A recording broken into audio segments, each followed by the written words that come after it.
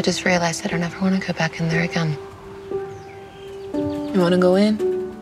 With the unforeseen success of Netflix's very own The Queen's Gambit, no name has been more popular than that of Anya Taylor Joy. Having already appeared in a number of television shows over the years, it was her performance as the enigmatic Beth Harmon that caused critics and viewers alike to swoon over both her beauty and grace. But did you know that, like Beth Harmon, Anya too has a past littered with both mystery and intrigue, leaving many to ask, who exactly is she? So if you're a fan of Hollywood's latest leading lady or just love to know everything you can about the best and brightest rising stars. Stay right where you are as we're about to explore some of the dark and hidden secrets of Anya Taylor-Joy. You won't want to miss a single one. But first, a simple reminder on how to enter our brand new giveaway. We are giving away either an iPhone X Max, the new iPad mini, or MacBook Pro. It's all your choice. So be sure to leave a like, comment the keyword, subscribe, and turn on notifications to enter the giveaway. It's really that simple. Her interesting background. While the vast majority of us can answer the question of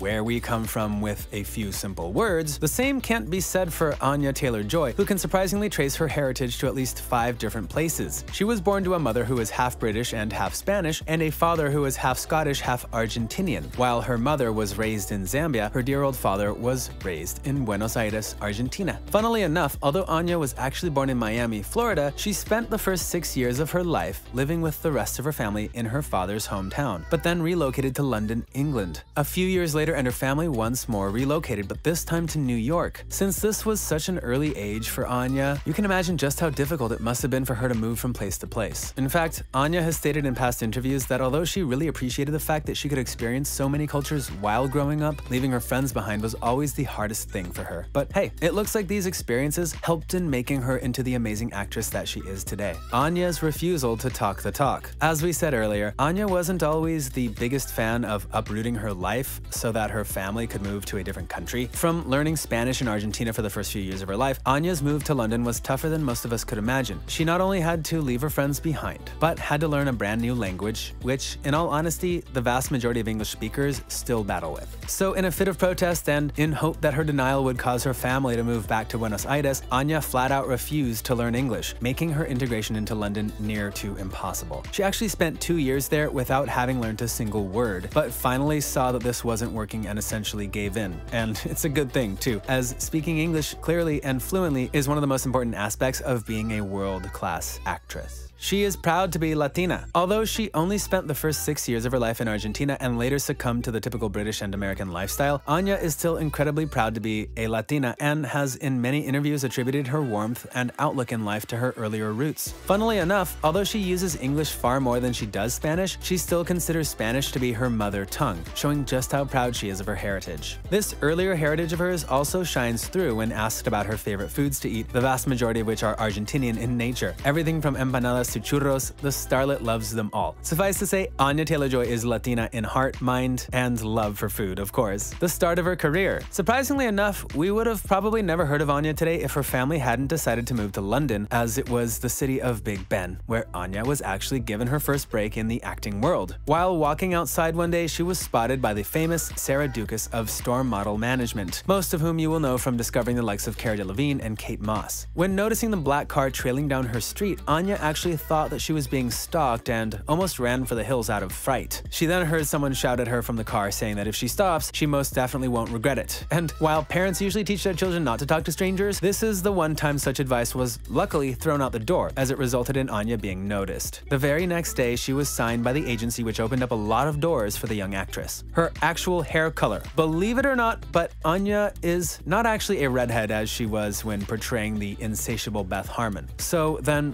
what color is her natural hair? Well, if you look at the majority of her performances, there are a few colors that stand out, ranging from that fiery red that we saw in The Queen's Gambit to either black or brown. Her role as Magik in The New Mutants showed her off for the first time with blonde hair, which in all honesty didn't seem to suit her after the rest of the world was so used to seeing her a few shades darker. But believe it or not, blonde is actually Anya's natural hair color, which absolutely blew our minds when we found out. Who knew she had always been a platinum blonde bombshell? Not us. Anya's morning routine. Anya Taylor-Joy still lives in New York and looks to be getting used to the hustle and bustle of big city life. When asked about her morning routine, Anya commented that she can't get out of bed without first having a cup of black coffee, which she swears is just part of who she is now. And since coffee is the lifeblood of most New Yorkers, there's no wonder she's taken this habit as one of her own. She also claimed that the reason for her energetic and bubbly personality is far more than black coffee though, as she also makes a point to do at least 15 minutes of happy dancing once the caffeine is in her veins. Considering how the vast majority of New Yorkers refuse to smile, we're thinking Anya has finally discovered how to make the city as kind and loving as her. Happy dancing for everyone!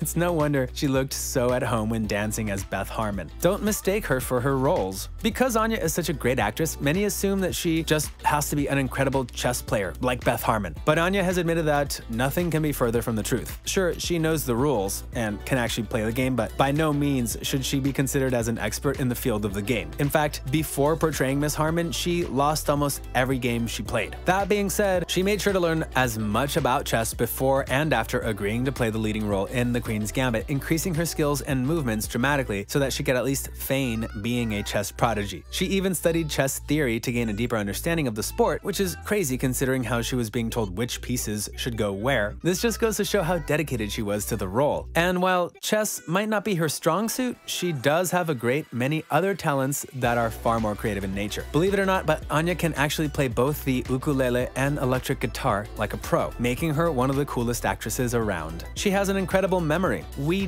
do, however, think that with more training, Anya could become a really great chess player, as seen by her dedication to the art. In fact, in most instances during the filming of The Queen's Gambit, Anya was asked to memorize sequences so that she could play smoothly with some style. Memorizing a sequence of moves in an ordinary game is one thing, but watching the series shows that she took this a step further. Remember those portions of the show where she played various rounds of blitz chess against Benny Watts? Those games were completely memorized and consisted of a number of moves, each done quicker than the last. It's incredible to imagine just how much work Anya put into making Beth Harmon look as amazing as she did. Now that's talent, her own obsession. It's clear to see that we're absolutely obsessed with Anya Taylor-Joy. But like an ordinary person, she also has her own obsessions. Probably one of her biggest is her fascination with the 1998 drama Dawson's Creek. She actually disclosed in an interview with BuzzFeed that she doesn't watch a lot of television, but has a few older shows that she can't help but rewatch every now and again. We've already mentioned Dawson's Creek, which is by far her favorite, but other classics she can't seem to get away from include Freaks and Geeks, as well as 8 Simple Rules for Dating My Teenage Daughter. Acting is her true passion, although she has a heavy inclination towards the art of music and started things off as a model, Anya has always wanted to be an actress and nothing more. In fact, the young star dropped out of school back when she was only 16 years old so she could follow this passion of hers and make it into a career. And although it's always far more preferable to first finish up in high school before taking such a leap of faith, at least this worked out for Anya, otherwise the decision would have been disastrous to say the least. Since she got her first big break when she was 19, you can imagine the regret Anya must have felt for those three long years spent doing nothing after having dropped out of school. But she continued forward until she was finally a household name, showing just how consistent she was in never changing what she wanted to be. Strangely enough, Anya has admitted that quitting school was one of the easiest decisions she's ever had to make. School was far more of a chore for the young starlet as she didn't have a lot of friends, made worse by the fact that her family was constantly moving from place to place. She also had a problem with bullies and reached the point where she didn't think she could learn anything in such a negative environment. We're just happy things worked out for Anya in the long term. But what do you think of the leading lady of the Queen's Gambit and the life she's kept hidden for all this time? Be sure to let us know in the comment section below.